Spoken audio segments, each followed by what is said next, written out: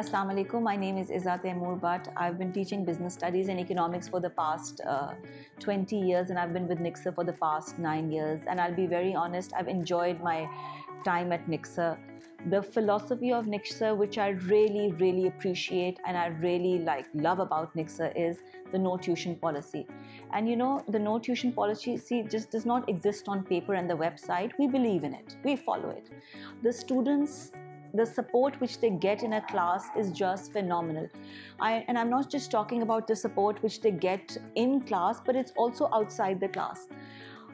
We have simultaneously at Nixor, we have the, tu- uh, the TA program running. We have the counselors who are working 24 7 to make sure that anywhere the student needs help, be it the be it the course material or be it any other help that we are there for and one thing which is very, very important the philosophy which we believe in is not just about grades, it's about learning, it's about changing lives, it's about equipping the student so that he's ready to face the challenges that lay ahead. And I'll be honest, these days competition is there is so much competition, and the pressure we have to understand is it's just beyond our imagination what these students are going through.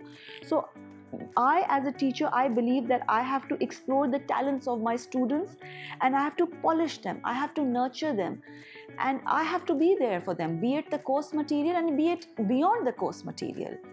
And as far as my own teaching strategy is concerned in class, I believe in two things. Firstly, is the case study method, and secondly, is teaching with the relevant, uh, relevant. Uh, relevant happenings. For instance, I tell my students we, we um, use the economic survey to cover chapters like fiscal policy and monetary policy. We tell I tell my students to, to research and find out what is the policy that the government of Pakistan is following. This way, they'll be able to grasp the concept, they will be able to remember it, they'll be able to apply it better, which is very important.